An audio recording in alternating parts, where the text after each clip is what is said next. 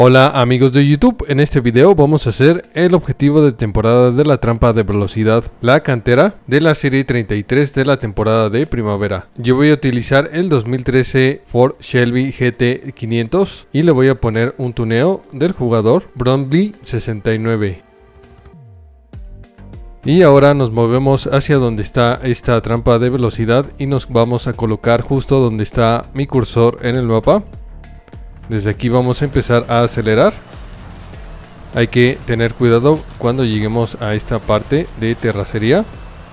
Para no salirnos, digamos, de este camino. Aquí brincamos un poco y aquí ya aceleramos con todo. Y es así como hemos llegado ya al final de otro video. Yo me despido. Recuerda que yo soy Egus Estrella y nos vemos en el siguiente video. Hasta luego.